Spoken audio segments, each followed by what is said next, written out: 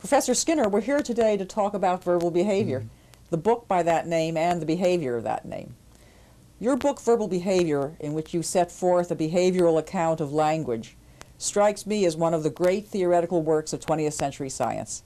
Certainly the most important treatise on mind since the great British empirical philosophers, Locke and the rest, had their say on the topic. Do you object to my calling verbal behavior a treatise on mind and human understanding, terms borrowed from philosophy? I don't think so. It certainly is a book about how we talk about behavior and our own behavior. And the concept of mind could never have arisen until we reached the point at which we uh, talked about what we were doing. As I, I can't imagine that pre-verbal human organisms or any other species in the world ever ask itself, why did I do that? You, uh, you do things, and if successful, you do them again. If not, you don't do them again, and so on. But under what conditions could you ever say to yourself, why did I do that? It's got to be verbal. You've got to start talking about yourself and others. Now, the first answer to that question, I think, must have come from noticing something inside your body as you were behaving. Oh, I must have done that because of the way I felt. I think it was only, uh, my guess is it would be when histories began to be written that you began to see sequences of events in which something else might explain the behavior, namely something that's already happened. And that would explain the feelings that you have, what, what you're feeling in your body, and hence the behavior. But I think it's only, it's only because we do talk about behavior that we understand what we call our mind. And that means that verbal behavior must have come before we had a mind, if there is such a thing, before we spoke about how we feel, why we did things, what, what, what, our, what our states of mind were, what our thoughts were, and so on. Those are verbal constructs. Mm -hmm. But behavior is quite something else. It's what we do in the world as a result of genetic and personal history, what has happened to the species and what has happened to us as individuals. Well, near the end of verbal behavior, you have the statement, which I found startling the first dozen times I read it. Um, I'm paraphrasing, but it goes something like, thinking is behaving, as though they were really just two names for the same process. Uh, yes. What do you mean by that? Well, I, I am uh, what the philosophers would call a monist in the sense that I believe that I am nothing but a member of a particular, uh, a particular evolved species. And uh, nothing of any other kind uh, of thing exists in me. I've got to explain everything I do in terms of what will eventually come down to biochemical changes, and the people in the nervous system will, will, will get onto those better. But up to beyond that, I can only uh, suppose that I do things in the sense of acting upon the world uh, and only when that world has certain features at a given time because of what has happened to me. Now, if I see you, I just, uh, I'm just seeing you but not doing anything more. I've just stopped talking for a bit and I'm just sit there seeing you.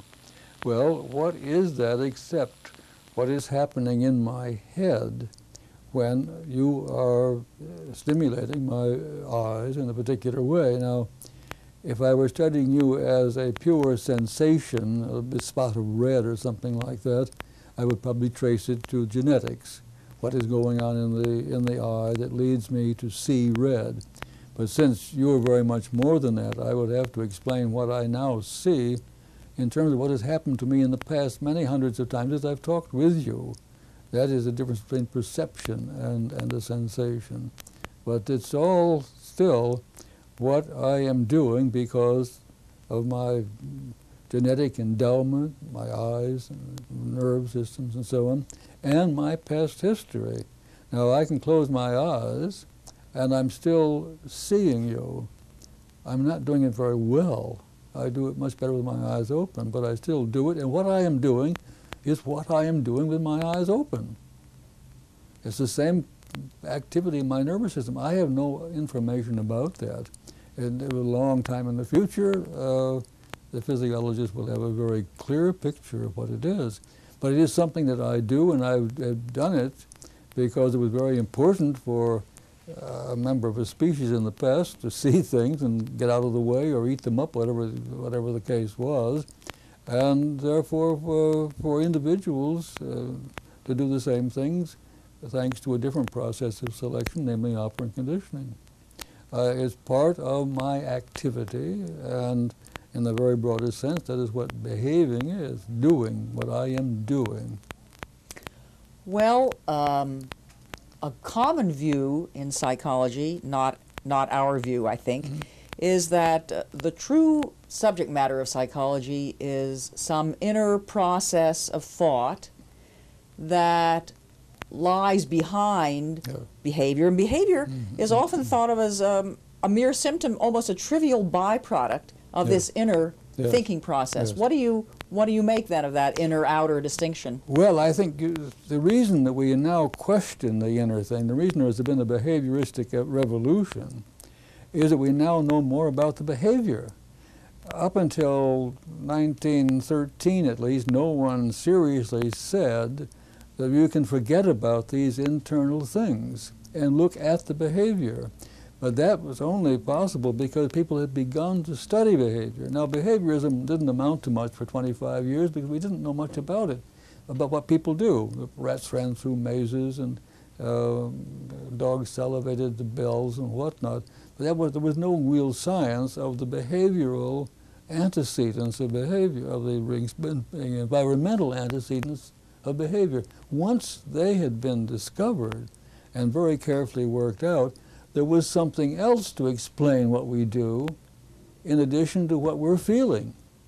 And then you realize that uh, once you have a science of behavior which establishes the role of the environment, two, two sciences really, ethology, the role of natural selection, and experimental analysis of behavior is the role of the environment of the individual through operant conditioning. Once you have that science, then there's less need to look inside for a cause, and eventually you can simply say there's no need at all, because what is inside is the product of the history. So what happens is, as I grew up as a, as a baby and a child and an adult, was that my body was slowly changed by contingency to reinforcement. It remained uh, a, a body produced by natural selection. And that as soon as we understand the environmental sources of what I do all the way along, we don't need to bother about how it, how it feels when I'm doing it. But what, is, what philosophers have done for two and a half thousand years at least is to try to look more and more, more and more closely at what they feel or what they see introspectively. And of course, they never have got anywhere. And they, Plato is still taught today in departments of philosophy, you see, 2,500 years later. And moreover, the, uh, the, cognitive psychology has given up on introspection. The psychology in general has. Do you, do you find a psychologist sitting around observing mental life anymore? No. The cognitive processes are inferences, which you establish by hypotheses and, uh, and inferences and so on. No, I don't know of a single psychologist who sits around and watches a stream of consciousness or is a trained observer in the Wundtian tradition, though the behavioristic attack on introspection has been totally successful. Introspection is now out as a process of science. It's still there with philosophy, and they can have it, and uh, they will. Uh, but the good philosophers, uh, uh I would say someone like Bertrand Russell, I think, realizes that you can't get much out of introspection, although it's interesting to look at yourself when you're thinking, but you've got eventually to get back to physical explanation. You say look at yourself when you're thinking. I mean, you, I think, of all people in psychology, have been uh, a paragon of what can be accomplished, what one can accomplish with themselves when they look at themselves. I mean, you, you are always, it seems to me, analyzing your own behavior and trying to uh, plan your environment to get maximum production and, and enjoyment out of your oh, life. Well, yes, because it's not that I want to find out how to think better. I find out under what conditions do I think better. And that's very different. I, what is left to me at 84 is very little, uh, except to go on with what I've done. I, the, the, the thing I enjoy most is thinking. When I'm at my desk, when I've not eaten too much or too tired talking to people and so on, at my desk, I, that is, I'm, I'm, I'm never, never happier. Uh, it is just a wonderful state to be in, especially when the sentences do come out and so on and so on. Now, I don't do that by screwing up my courage at the sticking place and think. I arrange my personal history for the preceding 24 hours to get that state. And of course, I have to look at the state. I watch myself. I see myself saying things. This is uh, what I learned to do as a member of a species which specializes in self-observation. And I don't question the importance of this.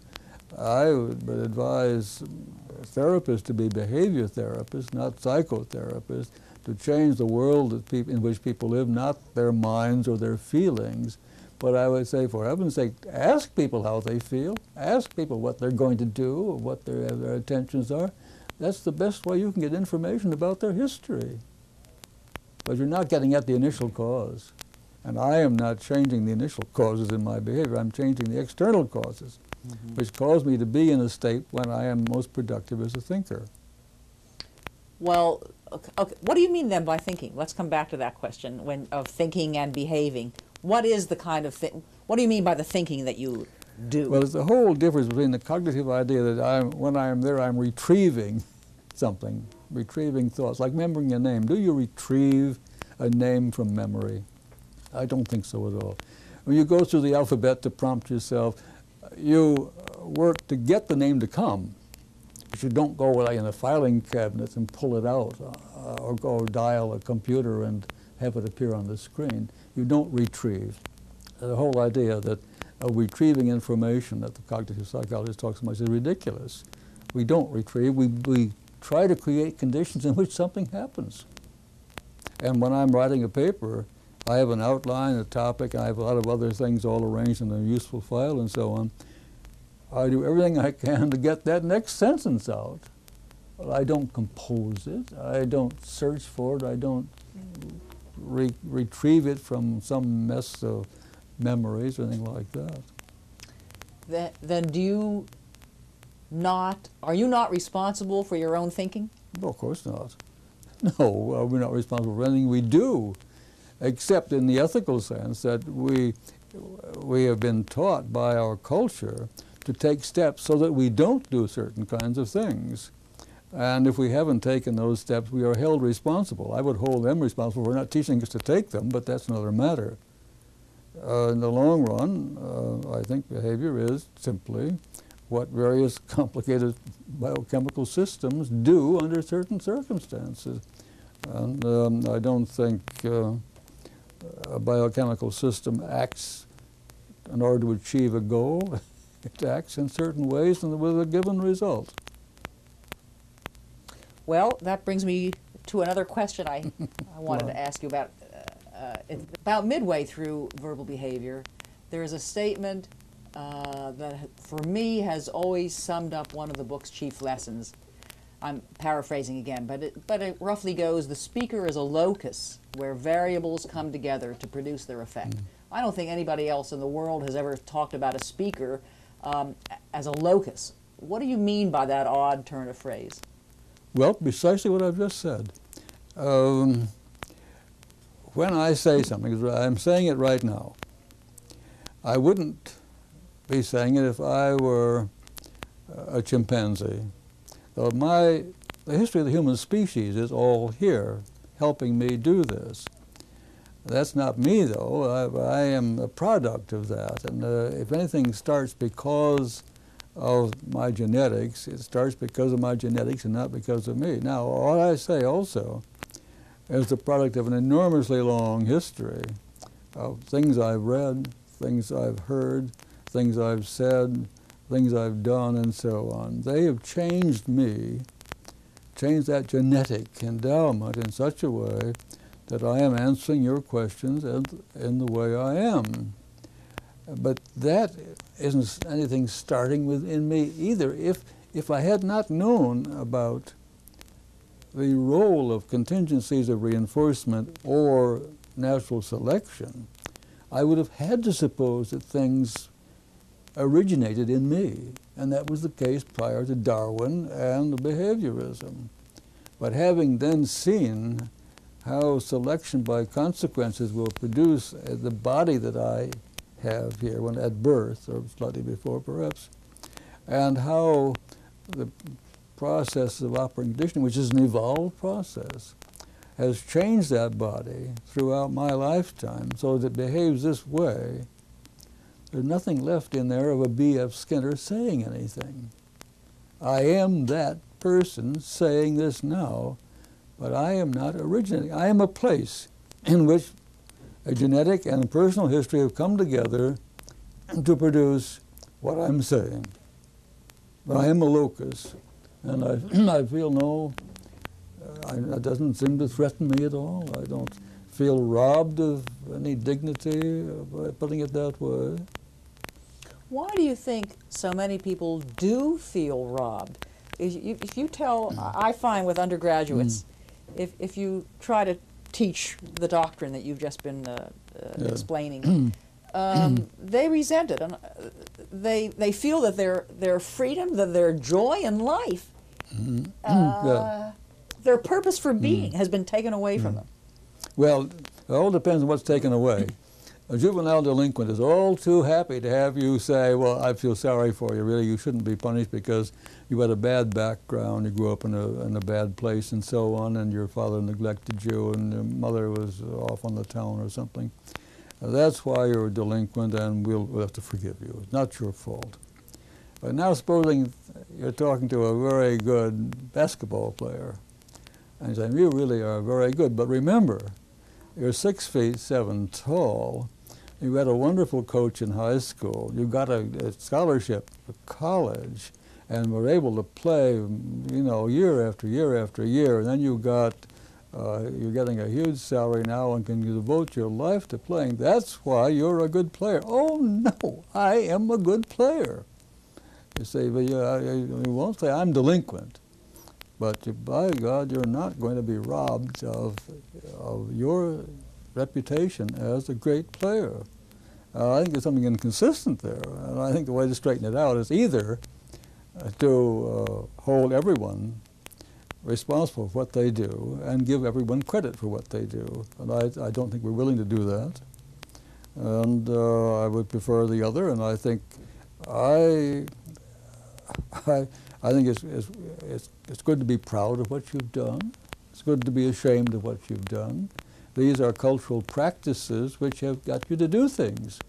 I, I would praise people, even though I don't think what I'm praising is anything more than something that will be changed by my praise. My, I, I will be, uh, if, you, if you say great, then that's more likely to be done next time, you see. Almost any school of psychotherapy or behavior therapy or religion or philosophy that I know of emphasizes they, saying to people, you have choices. Today yes. is the beginning, of, is the first day of the rest of your yeah. life. You have choices. You can choose where you're going to go with your life yes. from here. Do you, do you think that there's any sense in which people do have choices? Well, there are uh, situations in which there are different things that can be done, and one of them will be done, and you call that a choice. Now, you can also uh, do something called decision making, which is to work on yourself or the setting so that one thing or the other is done. You're stuck between two things, like Balaam's ass, and you've got to do something to do one or the other, or you'll die. And so you fiddle around with this bag, this, this one over here looks better, I like to go, I'm right-handed, I'll go to the right, or you'll do something that gets gets you to respond. And you say, I'm, I decided what to do and I made my choice. But these are entirely determined by environmental events. So the interesting the correlate of what you're saying, though, is that people don't want to injure a belief in choice, and so they turn to ineffective methods. Teachers don't want to teach because that injures the students' creative learning. This goes way back, Comenius, back three or four hundred years ago. The more the teacher teaches, the less the student learns. But you want students to learn, so you mustn't teach. That's Carl Rogers said as much as that. In his own field, he said as much as that, too. You want the individual, the, the client, to be the one who will come up with a solution. If you give him the solution, you, you've robbed him of the ability to, to find it for himself. This is true of, of all claims for creativity and so on. If you show an influence, oh yes, he was influenced by so, uh, then you've robbed him of, of some originality. You see, we, we try so hard to keep that imagined inner entity or, or ego working in a given way. I mean, we don't want to take credit away, and my book, Beyond Freedom and Dignity, was a demonstration of how much damage that has done to our cultures. Um, how do you explain the fact that uh, people don't do what they're told to do? They have to, in some Yeah, sense, find their own Yeah. solution. Oh, well, uh, first of all, make the distinction between rule governed and contingency shaped behavior. Teachers construct situations in which students do things for irrelevant reasons because later on they will do them and get good reasons to follow. So that it's a matter really of, of priming the behavior which is then truly taken over. Now, that can be done in a school, and if the school builds up behavior which does pay off in the world at large, it's a good school. And so you teach people to analyze situations, describe them, extract from them rules to follow, then the consequences follow too, and from that point on, you have originated something in the sense that you have got yourself to do something that did pay off. But how many people know how to find rules from the contingencies they face? That's, so that should be taught. But it's not teaching creativity, it's teaching the manipulation of a world verbally, which then leads to action, which is then followed by consequences. So you always come out with a behavior followed by consequences, or you haven't got anywhere. If you're just following rules is nothing. When you don't like to follow rules, I don't like to follow rules. But if somebody tells me to do something and I do it and consequences follow, I may even say thank you for telling me. Um, I think this is a crucial topic in current behavioral thinking and research and, Mm. and theorizing, so I'd like to spend a little more time on it. What, what do you mean by a rule? You, you've introduced the distinction between rule governed and contingency shaped behavior. Once you can talk about behavior, talk about the world, you can help other people come into effective contact with the world. And with the origin of verbal behavior in the human species only, enormous advances were made because it was no longer up to the individual to learn everything through what happens to him as an individual or her. Um, and you get then a culture forming which primes behavior, models behavior, gets the behavior out so that uh, things can happen that have happened in the first place only rarely to one person and now happen to everyone. Somebody first discovered something about something. That would have been the end, and it, up, and it might have been a very difficult contingency that taught it. If it hadn't been put down and transferred as a rule in, in, uh, in texts or passed down by rules verbally and so on. The, what has happened to our what is called a culture is that there has evolved an enormous source of rules which, if you follow, will lead you to do things that will be reinforced. Science does that too. Uh, Uh, science is nothing but a complex set of rules for of action. Governments have rules which uh, get you to do what they won't punish you for doing.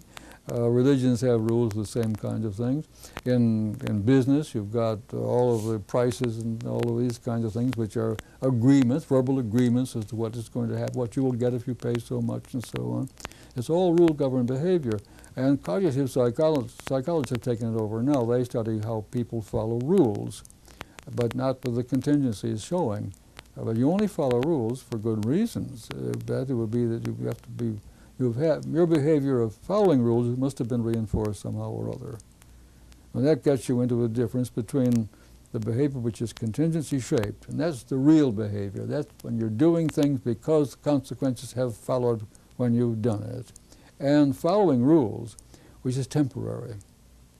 You follow the rule, and then the consequences follow and you're there. You come to uh, the Cambridge, say, I like uh, good Italian food, and I say, well, go to Luigi's, very good food. That's advice, that's a rule.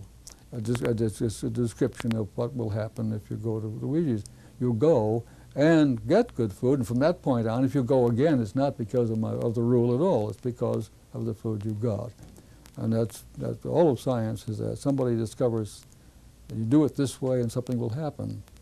Very unusual, very rare contingencies, but accidental. And, but after that, it's no longer accidental. Now you do it because of the rules.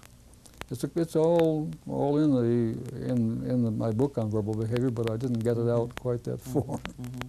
I think you've, you've also talked about it at, at other times, um uh, book learning versus practical behavior. Uh, Yes, well, there's an old distinction between knowledge by description and knowledge by experience. That's it. Knowledge by description is rule governed knowledge. Mm-hmm. You do things because you've been, they, the consequences have been described. Mm-hmm. And that's what cognitive people, cognitive science, the, the cognition in cognitive science is knowledge by description. They describe settings, what would you do, and so on. Mm-hmm. But knowledge by experience is operant conditioning. That's what, what changes take place in an organism when contingencies have been imposed to produce it, produce the behavior.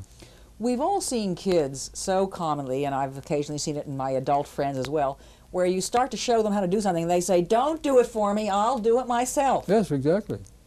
Why? Well, because uh, they would prefer, uh, it's, it's more fun to be contingency shaped than to, to follow rules. Think of, think of how much we tell, tell kids to do. Okay, if you clean your teeth this morning, go clean your teeth. Now sit down, don't, don't, don't, don't, don't uh, wash your hands and so on. We, we boss them around where, where, no good contingencies do follow. Teeth wasn't bothering him at the moment, or the, uh, or the hands weren't, weren't interfering with eating and all of this. So that uh, we we have a burden of, of just too many rules which are followed with nothing else happening to reinforce following them. And so we attack those who give us the rules. Uh, I've been supplying you with prompts for your verbal behavior, but there must be things that you would like to share with us that I have failed to prompt. So, what else would you like to tell us about that has to do with verbal behavior? Well, I suppose if you allowed me, I would get around to my battle with the cognitive psychologist, because it is essentially verbal. It's concerning verbal behavior. They have given up on behavior as a function of the setting and what has happened in the past to talk about verbal behavior. You describe settings and you ask them to say what they would, would expect to happen, what would they would intend to do, and so on.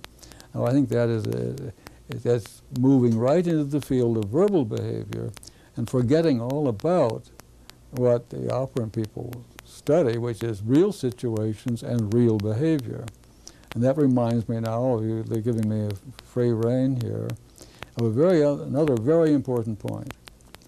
Many people, especially the animal activists now, are saying, you can do all of these experiments with human beings, why do you have to use animals? My answer to that is absolutely the opposite. You can't do these experiments with human beings. You must do them with animals, or with nonverbal human beings, of which you don't have many, unless you work with very small children or uh, very atypical people. And the reason is a situation in which people find, find themselves. and what happens then is that they analyze the situations and begin to say something about it. Mm -hmm. And they may give themselves rules to follow. Mm -hmm. And then what they do from that point on is a response to the setting you have created and to the rules they have created for themselves. So that the only research on human subjects that I think feasible is precisely that point of what people do in analyzing situations and giving themselves rules which modify their contingency-shaped behavior. And I think it's all, the basic, the basic behavioral processes are all available in the animal laboratory, all of them. And I, let's say I've used nothing but those processes in my book on verbal behavior. That is where you study it. That is, that is where you study how the brain works, if you want to put it that way, or how the organism as a whole works, as I want to put it. And given that, you can then interpret what's going on in daily life, both in terms of the contingencies which prevail as such, or the contingencies which generate verbal behavior and responses to the products of verbal behavior. I think it's a very important point. Only the animal laboratory, really, can get down to the basic processes of behavior. That, the, the basic process I, I put that true, and I would say that was true of, uh, of perception, too. I think the work that's been done uh, Herrnstein's work on pattern discrimination and what he calls concept formation, I wouldn't call it that. I think the concept's in the apparatus, not on the pigeon. But that is a much more precise study of how behavior is brought under the control of stimuli than to bring people into a setting and try to convert them into, as the old Wundtians did, into the skilled observer who didn't take the stimulus into account. That was a stimulus error. If you take what you remember about stimuli, you'll spoil the research. Of course, the perception people came along and did that too, and what you perceive, the way you perceive something is not the way it is, but the way it seems to you, and all that means is not the way it is, but the way it is plus all of this happened to you in similar situations throughout your life. That is why you respond to it as a perception instead of but I think you only can get get back to the basic processes only with nonverbal organisms. And that's basic in the sense of not contaminated by not being contaminated by talking about it or, be, or having been influenced by what was said to you and so on. Uh -huh. But you're not but you're not suggesting that it isn't worthwhile once you understand the basic processes or as you're studying the basic processes it's worthwhile to also study how people make use of verbal behavior. Oh, well, uh, you teach verbal behavior, yes. And you, teach them to follow instructions. You teach them to respond to descriptions of contingencies. You, we do this with children all the time. And we could do it much better than we do in schools if we, if we recognize the nature of the problem. You call it rules, uh, in other people might call some of what you've talked about um, self-fulfilling prophecy. Once you've said that something, then you then you do it that way because you've said so. Well, that would be an example. I don't like the word rules, but it's what I really mean is verbal behavior control behavior, but mm -hmm. that's a little awkward. Mm -hmm. And I'm settling for rules just as a as a as a standard term. There's a whole field of uh, psychological research on what's called problem solving or concept formation. You know, people are yes. shown cards with curly lines or straight lines and red borders or blue borders yeah. and so on um, and and uh, what people do in trying to identify the critical features of yeah. the stimuli is often called hypothesis making. Yes. Um, how would you talk about that? Well, hypothesis is something supposed to be inside, and that's I object to that absolutely.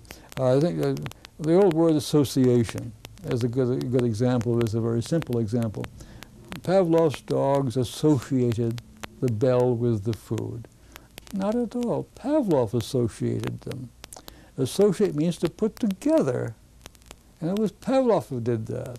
The interesting thing is that having associated the bell with the food, the dog begins to respond to the bell.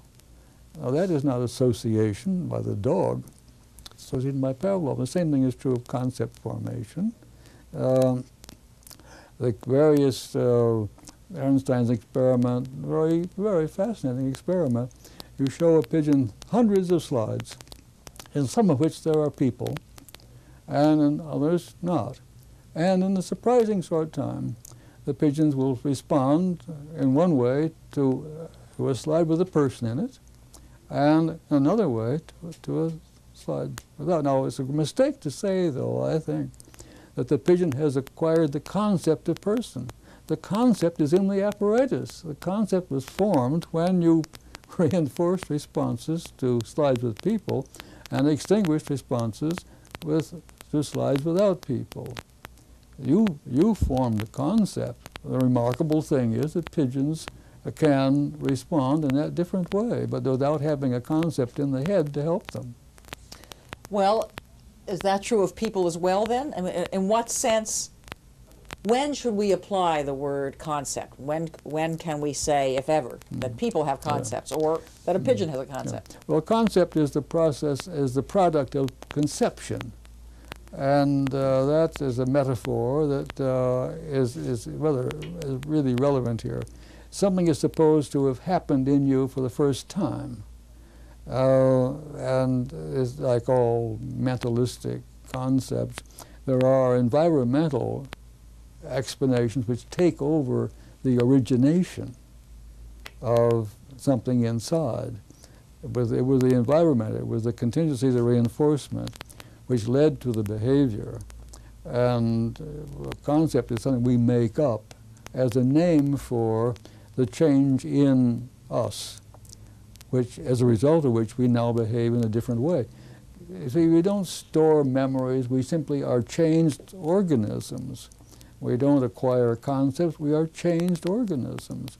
The pigeon that will respond to people and not to people is a changed pigeon. And we've changed it by differential reinforcement with respect to visual presentations. It's uh, the, the there is, of course, a change that will eventually be discovered by brain scientists a hundred years from now, perhaps, uh, when they get to that fineness of control. Uh, and that I leave it to them. I, I, I, believe in brain science. I don't believe in philosophy or, or concept formation. I guess I, am still curious to pursue thinking uh, a little more. I have two questions. Is there a difference between verbal thinking and nonverbal thinking? And is there a difference between human thinking and the thinking of other species?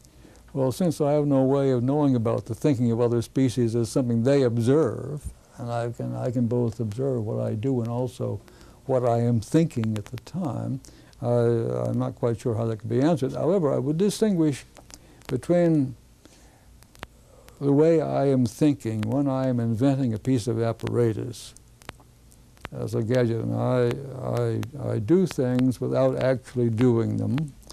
In a sense, I almost always as visualizing the consequences of doing. I see myself putting things together in certain ways and seeing whether that's square and whether this is likely to move without hitting this and so on. And all of that is perceptual behavior which is very hard to make people understand as behavior, but it is what I would do if I had the pieces there, and what I would see if I saw my if if I were doing it with the pieces, and I, of course I can't do it as well without the pieces. That's why I would eventually get around to making it, making a model to see whether it works or not. I invented a very complex uh, uh, machine, the teaching machine, the middle 50s. It's now in the Smithsonian. It is full of gadgetry of all kinds. I drew all of the parts for the construction of that that one summer in Maine with nothing but squared paper available. Every single part in there, uh, dimensions, exact specifications, and so on. It took, uh, it took a machinist a full year to make the parts and put them together. With very slight adjustments, it worked. Now, that, that's the thing, I, I love doing that. Um, if I had had a shop on Monhegan, a machine shop working with metal and so on, I would have, would have made it instead of drawing lines and visualizing the parts. But uh, I was doing things in both cases. The fact that nobody could see me when I was just drawing lines and uh, they couldn't see what I was seeing, these, these drawings didn't look at all like the, the parts when they were finally made. Uh, nevertheless, I, it was a kind of, of behavior. Behavior I've always enjoyed doing and, and done well enough so I get a lot of reinforcement out of it. Some people might find it impossible to do, I dare say. But I, there are lots of things I'm I can't do too. I, I, uh, I can't think music as, uh, except when I'm hearing it. I discovered that I, I can, if, I used to play uh, piano and I had an electric organ too. If, but I couldn't read uh, Mozart's sonata and hear it. Um, like sit down and play it and hear it. But I discovered that if I turned off the sound of my electric organ and played it, I could hear it. Oh, really? Uh, uh, the, uh, the movement of my hands uh, brought me auditory behavior that, uh, that worked very well. Well, you can, you can imagine then how in a professional musician the behavior could be shaped of looking at the notes on the printed page and hearing the music. Oh, yes, or how, uh, because Beethoven wrote the Ninth Symphony totally deaf. He never heard it. and uh, he may have heard some deep vibrations of some kind, but yet he composed it, uh, I'm sure, but was hearing it as he composed it. But he never heard it through his ears. Mm -hmm. You describe with great delight uh, the way um, your, your enjoyment at working with your hands in yes. a shop. Um, I think there are psychologists who would say that shows up in your particular science of behavior, okay. that, that it has a kind of mechanical flavor. Do you think that your own personal enjoyment at gadgetry mm. and making practical things that work, um, and that had to have preceded your ever coming into psychology. Did that influence the way mm. the science of operant behavior developed? Well, it influenced the way research was carried out because I could throw an apparatus together within very little time. If it wasn't working, I could change it. If, it, if I ran into something else, I could scrap it and build something else quickly and so on. So I didn't have to call in a machinist and have him do something so I could do some research. And uh, certainly all of that early stuff uh, was just junk that I put together with an extraordinary number of lucky accidents as a result. The most, the most obvious one, I made a, a, dispenser of food pellets for a rat by taking an old disc of food I found in a junk pile, just uh, wood, a wood, a, circular piece of wood, and drilled holes, and I arranged it so this would step along and drop one piece out every time. It just happened there was a spindle on that piece of wood, and I left it on. And then it occurred to me after I began to get uh, records of how fast the animal was, was working for food, uh, with marks like this, and it occurred to me if I put a string around that spindle, I could have the pen drop and get a curve. Well, now that's just, just that is ex extraordinary luck because it is the curve from which the slope is a measure of probability or rate of responding that proved to be so, certainly in my own thinking, very important. That was, that's gadgetry. It is due to uh, my building things. If I were sitting around, like Wittgenstein's, playing with words or whatever he played with, uh, uh, it would be a very different thing, of course. Wittgenstein did say at one point, you know, that it will take some animal research to answer these questions. We've come this far in the discussion, and we are supposed to be talking about verbal behavior, and yet I haven't, uh, ask you to explain your definition of verbal behavior and how it differs from nonverbal behavior. Could you do that for us? Uh, Yes, first, however, I uh, want to correct you. You said uh, my book was about verbal behavior or language. Now, in the book, I defined a language as a verbal culture. It is people speaking, texts read, and so on, which alter the behavior of, of speakers. Uh, language, English, English language is not saying anything, not speaking. I do speak English. In other words, what I say as verbal behavior has been shaped by English as a verbal environment. And when I speak French, that has been shaped by, alas, not the French environment, but book learning and so on. Uh, the languages are on the side of the reinforcing contingencies. And when you study language, you study current practices in the verbal community, which is not speaking at all, but reinforcing speaking. And that is why linguists have so often confined themselves almost entirely to the behavior of the listener. Uh, Chomsky and others, is this, is this a grammatical sentence?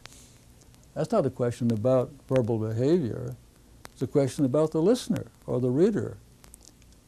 Is that is a listener or a reader responding effectively to that particular verbal pattern? And so they begin to analyze the structure of the language, and as is structuralism of, of the worst kind. Now, meanwhile, someone has had to be speaking, and that is the product of what listeners have done over years of, uh, of contact with the speaker. The verbal behavior is behavior. A language is the word for a verbal environment, and is studied as such and has always been studied as such by linguists. All the languages in the world, that doesn't mean all of the verbal behavior that's been going on. It means these are the cultures which have shaped different kinds of verbal behavior.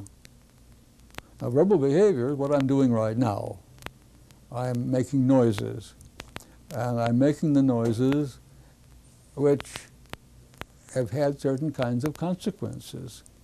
The first time I said Dada, my father was in ecstasy, I dare say. Oh, he called me Dada. And so I was hugged and uh, given all sorts of goodies and so on. And ever since I went on calling him Dada or Daddy. Actually it was Papa, but it doesn't matter. anyway, uh, it's not quite so easy for a child to say Papa, apparently. But anyway, the, my whole repertoire has been shaped by the kinds of consequences that have followed. And those kinds of consequences are the things which have created general principles to all languages. The fact that there are universals is made a great deal of, that all languages have certain common features. Of course they have, because there are common reasons why people have reinforced my behaviors in these various ways. And there are, in all languages, there are questions. Uh, what did you say? Uh, or what is that? Uh, in all languages, there are negations. Uh, no, not that. Um, in all languages, there are things talked about, there are actions talked about, and so on and so on. Um, these are the universals because they are the universals of the contingencies of reinforcement responsible for verbal behavior, not any one particular set, such as Greek or Latin or, or French or English. What's the definition then of verbal, be- of verbal behavior? Well, verbal, verbal behavior is behavior which differs from nonverbal behavior in the nature of its reinforcement. If I touch that glass and pick it up, I've got a glass in my hand. And I could have done that if there had been glasses before the species ever acquired verbal behavior. If I say, hand me that glass, please, and someone hands it to me, I, my, my response, hand me that glass, is reinforced by someone else. Now that uh, reaching and picking that up shapes some very specific muscles in my hand and some related to some strict stimuli from, from the glass to my eyes and so on. Nothing of that sort is involved if I say, hand me the glass, please. Uh, so my verbal behavior is going to be very different. It's, it's shaping my muscles here in different patterns, but only in ways which have produced certain consequences in a quite different way. So the behavior shaped by contingencies of reinforcement like that are, are one kind of thing. The behavior of vocal behavior shaped by consequences will be very different. And that is why uh, my book simply traces all of the differences between verbal behavior and nonverbal behavior which come from that distinction. From the fact that the reinforcers are mediated Come from the Somebody else, somebody else was, must be, you know, no solitary person ever began to talk. Is the behavior of the listener verbal then? I would say no, uh, except when uh, you are speaking along with the speaker, and we do that a great deal. Uh, if we hear people sing the Star Spangled Banner before a ball game, we're probably singing along with what we're hearing if we are very loyal people. Um, and when we read a poem we know very well, we are saying it, saying it along with uh, with the speaker. And, uh, it, um, even though he may be dead for several hundred years, he said it, and, and in reading it, you are saying it. You're not just responding to it. The first time you responded to it, you had no, no cues to, to lead you to say it yourself. First time you read a poem, you word after word, but after that, just, you've heard this, done this a thousand times, you're ahead of the text, and the text is prompting, or you may forget it and just recite the poem. Then you, then you are the listener, who, the reader who is saying it. I'm going to come back to the question of the, list, the speaker and the listener. All right. Uh, you may remember that it has puzzled me for some time. Many people would would would say, I probably you you and I would agree that the, the what the listener does is every bit as complicated as what the speaker does. But you're saying that it's of a, in what way is it different, except for not making noise? Well, the, the listener is responding to stimuli. For example, I'm a cook and I, and I either ring the triangular bell, chow is ready, or I just call out, chow. Now, what's the difference between coming to the bell or coming to the, uh, the sounds I make? Both are verbal though, because I don't ring bells unless people do come. But on the side of the listener, it's no more verbal than coming when the tea kettle whistles. You, you uh, do respond to one thing because something else has accompanied it in the past. And I don't see verbal, uh, I don't see listeners doing things that they don't do to nonverbal environments. They may not be doing things. I mean, picking up a glass and handing it to you. Uh, I could do, as you say, whether or not you had asked for the glass of water. Yeah. But it's all, the argument is often made the, uh, by psycholinguists that we're dealing with, with quotes language in two forms: the productive side, the, re- the receptive side, um, or the comprehension side. If if you, as you do, speak in long, complicated academic sentences, Yeah. um, I have to quotes process that stream of sound to make sense of it.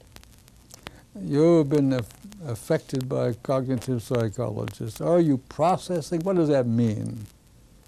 Are you grinding wheat? Are you distilling oil? What, what is this process? Um, you are doing something, yes. And I can, if I have, to, I, if I don't start with you now to discover this, I start with you as a small child. uh, whose mother said, dinner is ready. And you came and, or she said, stop doing that, and you stopped. You, you learn to do, you learn to stop doing in response to stimuli, which would be just as much as uh, uh, not touching something if it's hot or, or picking something up when it looks appetizing and so on. You are responding to stimuli in terms of what has happened to you when you responded to them in the past. And that's not verbal behavior.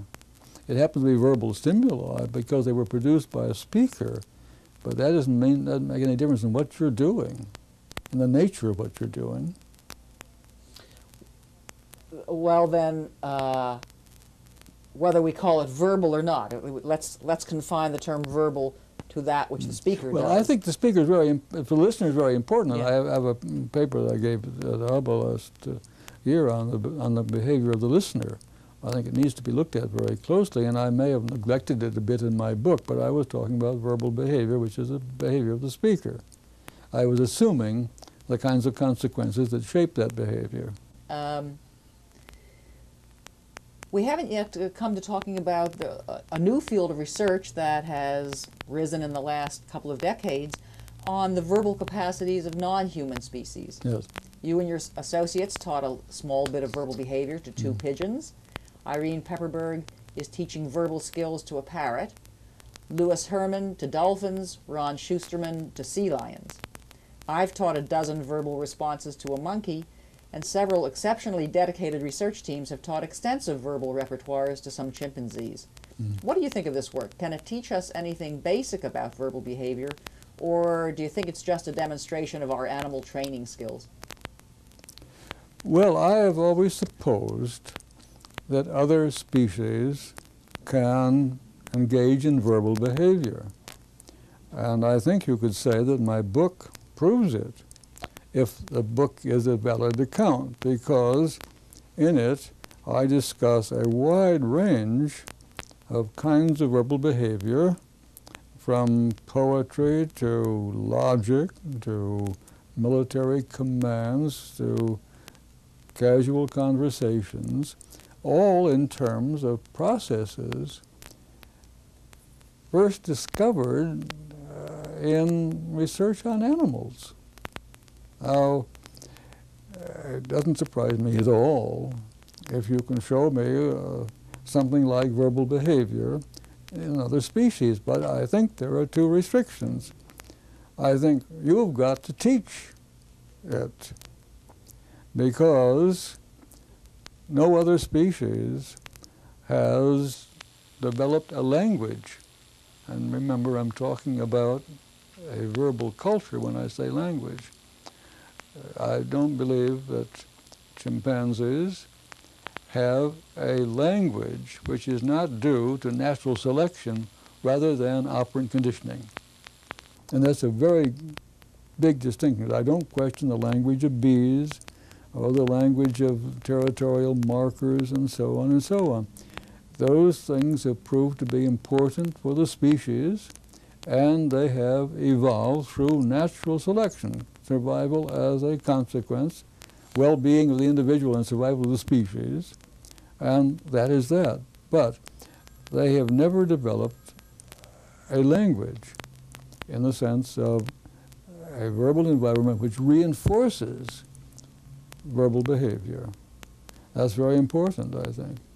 Um, in the case of the chimps, it's very, you, you can also, well, I think you could also say this for almost all of the species, that only in the human species is the vocal musculature under operant control.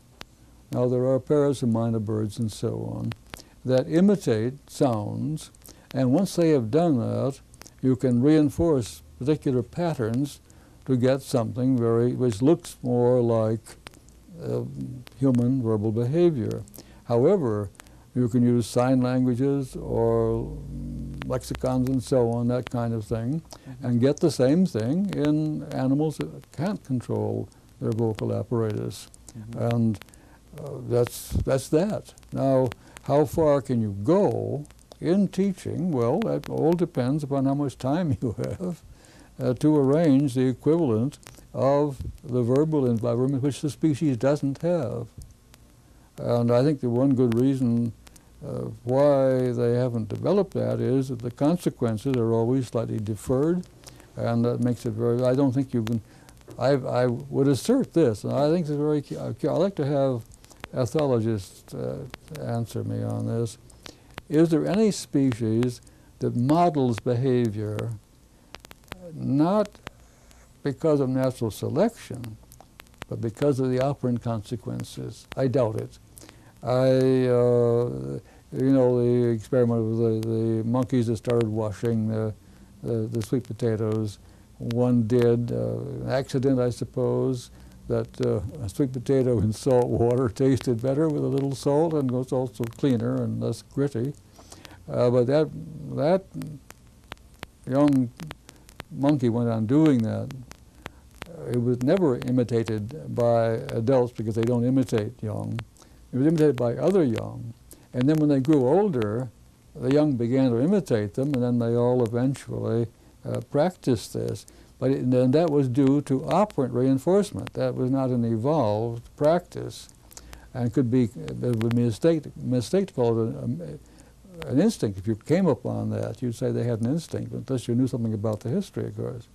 That's, uh, but I don't believe, even then, that one of those monkeys ever showed another monkey how to, uh, or to hold it to, or coerced it, forced it to do this.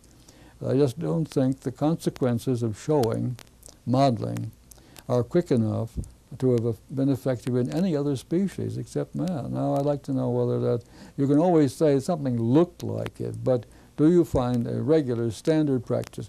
Of course you do uh, at the level of natural selection. Some birds fly where their young can see them and they're more likely by imitating them to fly sooner. That's, that's modeling, uh, no question about that. And that is, it is the survival of the species that makes the difference. And the problem there is that that is, it is always a, a, is always a deferred, deferred consequence. The survival of a species, or even uh, the survival of the individual, is always a deferred consequence. But natural selection can work that way. But deferred consequences cannot work on operant conditioning. I don't think animals model behavior, and I don't think they talk to each other unless someone has constructed very specific contingencies of reinforcement. And that's, of course, what these people working with chimpanzees do. Um, I want to pursue deferred consequences. You didn't. You didn't intend to say that deferred consequences cannot work in the human case, can you? I mean, a verbal organism can be controlled by deferred consequences. But because of the verbal behavior, you see, I don't believe, I have a big conflict, uh, conflict here with my colleague Richard Herrnstein. I don't believe that net gain ever explains behavior. Uh, net gain, how you come out in the long run, is a product of certain contingencies of reinforcement which are immediate. And there are very good reasons why those immediate consequences have have evolved because they have, in general, produced a net gain for the culture. Net gains are cultural consequences which work only through mediation. If you do this, this will happen. Okay, then I do it because I have learned in response to those if-then statements to do because consequences have followed when I have done. But without the verbal mediation, I don't think any human being is modified by what happens an hour later, let alone a month later, or at the end of his life. Mm-hmm. Mm-hmm. I just don't think it happens. I, th- I can't imagine how it could have evolved to happen that way. I, I think the, the ongoing behavior has got to be somehow still ongoing to have the reinforcement effective. And um, uh, my work with rats, uh, three or four seconds begins to damage the whole thing very much. And even then, it may very well be that there are condition mediators. Uh, and I got a pigeon to do something where something had happened 50 minutes later, but we had to move up second by second to get that. And you're, you do this now because the condition that follows was something you, you could do something in and so on and so on. You learn to do something because it produces a condition under which something will happen in the future. And then you have to stretch that period of time out very slowly in the process we call shaping. Shaping and chaining, you're talking Yes, about. right. Yes. Um, you said that the, how far we can take other organisms, other species, uh, into a verbal Mhm. envi- into verbal behavior uh, depends upon how long we have to train them. Yes. Do you think that uh, there would be no theoretical limits or no practical limits on how far we can teach uh, another species? verbal Well. I think it's like Chomsky saying that there are an infinite number of sentences, uh, but uh, you have to say given an infinite number amount of time. Uh, and uh, I can't say on this, but I, I would, would make some estimates. Uh, there was someone a long time ago who taught dogs to do things in response to verbal instructions and claimed something of the order of, of, of a hundred or more responses. The dog's a listener, though, remember, in that case, not a speaker. Now, you can get, uh, if you can get different kinds of responses, which are really distinguishable as, and of course, one of the great advantages of verbal behavior is the patterning that makes possible thousands of responses in very short, of a very small size. If you can get several of those, you can get a pigeon, someone has done this recently, you get a pigeon to stand on one foot or to flip one wing and so on. These are words. Uh, you stand on one foot for something, you flip your wing for something else, you nod your head for something else, and so on. It can be done. That's the sign language of the pigeon. Uh, you can build up a reasonable repertoire, but you very soon run into trouble. How many different responses have you got? And I'm sure that the sign language is a problem too there because uh, there, there's a point at which they're no longer distinguishable fu- functionally. And uh, they tend to be, even in the human sign language, they tend to be rather sketchy kinds of, of things. But if you could, it is a question of how many different topographies of response are available and how much time have you to bring them under the control of one, different consequences, to ask for different things, two, different, uh, different settings in which they are reinforced, tacting in the terms of my book. That is, Uh, you say this when the color is red, you say that when the color is blue, you say that when the color is green, and so on.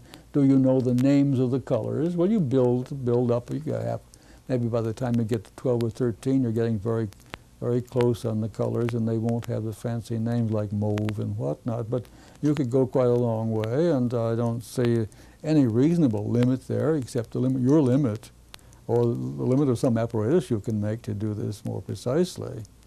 Uh, you could have, if the pigeon is pecking the names of things, I've done it with four, four colors. You turn it on, the pigeon pecks red or you know, whatever the color is, it does it very well. And you could, if you had a much bigger array, as, the, uh, as, as it can be done with, with chimps and so on, you can get naming of a large number of things or properties of things. You can get mands asking for things, naming for things, and uh, you can get repetition. Uh, you do it and, and the organism does it. This is what happens when you teach someone how to say something. Uh, say, uh, say uncle and you say uncle. And uh, that can be, that echoic behavior, you can build that up.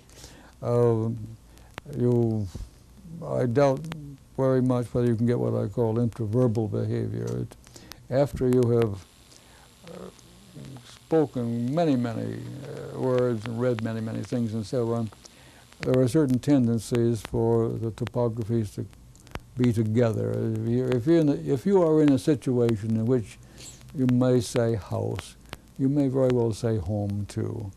So if I ask you to respond to me without repeating what I say, and I say house, you say home.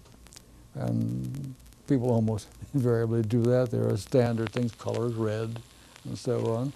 Uh, this is due to the frequency of, of con contiguity, how often they have been together in a large repertoire. Well, you'd have to have a very large repertoire with a chimp before you, you got that. You could, you could teach it to say house when you say home, but that's not intraverbal.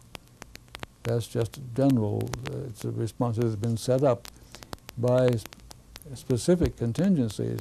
Intraverbals are something which come about through generalized contingencies of a very large, very great variety. Hmm.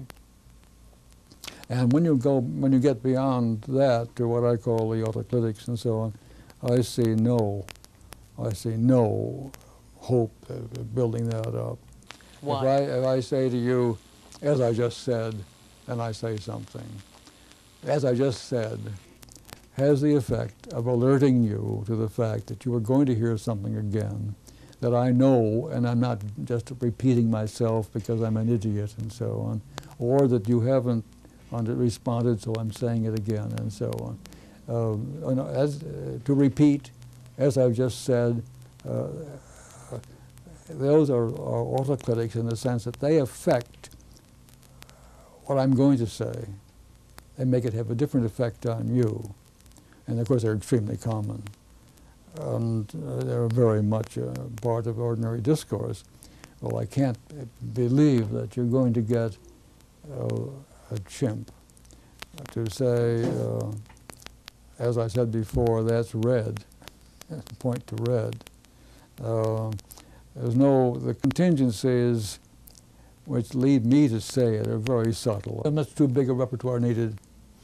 Oh, so you so you do think there are differences between species in the size of the repertoires they can? Well, uh, I, I, think it, I think it's far beyond any other species, because we have to teach them everything. You see, we we are our verbal behavior. Chomsky thinks I think we have to teach everybody what everything they say, but our verbal behavior is a product of an enormous contact for thousands of hours with speaking people. And that's where a lot of this comes from. You won't find very small children using many autoclitics. They will, as their verbal behavior becomes more subtle, then they will begin to use them. Mm -hmm. Smooths over many misunderstandings. Mm -hmm. You're, you're, you've given examples of autoclitics of a type that is a sort of um, meta commentary on what's what is being said, and yes. as you said, it affects the way the listener responds. Mm. What about grammatical patterning in general, which is an issue of still a hot issue in uh, in the psychology of language?